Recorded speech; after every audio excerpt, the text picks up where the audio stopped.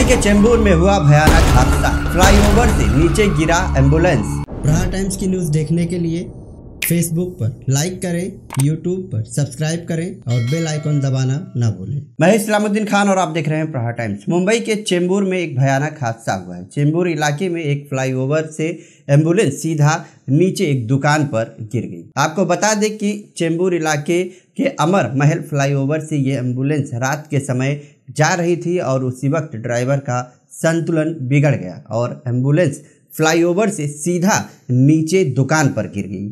आप तस्वीरें देख सकते हैं कि फ्लाईओवर से किस तरह से ये एंबुलेंस दुकान पर गिरी है। काफ़ी भयानक ये तस्वीरें हैं, मगर गनीमत रही कि जिस वक्त ये हादसा हुआ, उस वक्त दुकान बंद थी। एंबुलेंस में ड्राइवर के साथ एक और व्यक्ति सवार था और इन दोनों व्यक्तियों को मामूली रूप से चोट लगी। सूचना मिलते ही दमकल कर्मचारी और आपत्ति व्यवस्थापन की टीम मौके पर पहुँच गई और मामूली रूप से घायल एंबुलेंस ड्राइवर और एंबुलेंस में सवार व्यक्ति को इलाज के लिए भेजा गया है। तो तमाम खबरों को जानने के लिए देखते रहिए बड़ा टाइम्स।